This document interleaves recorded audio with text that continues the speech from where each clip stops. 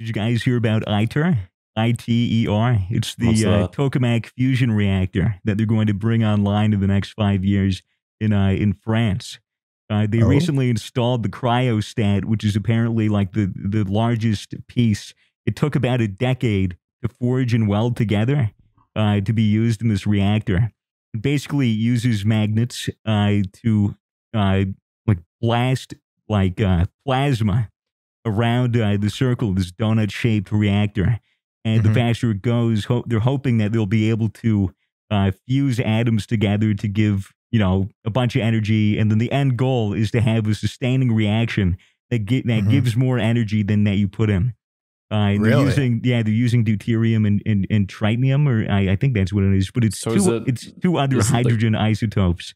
Uh, Is it proper fusion? together. Because It I heard like they're always trying to do fusion, but it's always like 20 Can't, years I got away or no some clue shit. what the fuck you just said. Can you explain that in Mason in N- uh, Mason terms, nuclear please, reactors Swagger? now is nuclear fission, which is like they Yeah. take radioactive core, it's stuck in water, it makes heat, and it spins a big turbine.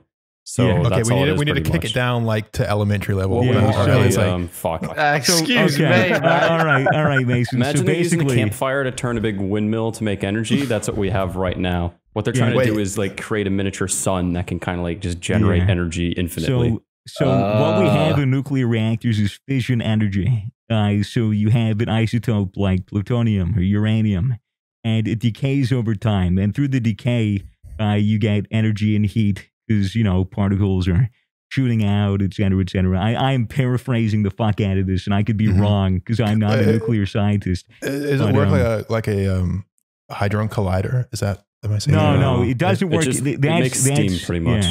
So Just makes basically, steam. It it, Oh. it it warms water to make steam, and the steam turns the turbine, which then provides energy. Uh, but Okay. this this uh, fusion reactor is taking uh, two atoms and fusing them together. Because what the sun does is it takes hydrogen, uh, you know, which is you know the most basic element, and it fuses it into helium, and then you know so on and so forth. It'll keep fusing when the sun gets bigger and collapses into a supernova and blah blah blah. But basically, uh, they're they're starting to do work on uh, on the fusion reactor in France. They're they're installing all the parts, and what they're trying to do is is test the plasma uh, to see how it goes. In about five years, I think is when they do the test, and then hopefully. Uh, they'll be able to sustain the reaction for long enough to where they could be like, yes, this is a proof of concept and it Hmm. kind of works. Let's finish it. And then by like the 2030s, you know, possible unlimited energy. And, and is, it, reckon carbon, we is it co- Oh, sorry, Mason, you go. I I was just gonna say, I reckon we fuck off to Mars. yeah, yeah. You think? Why? Why?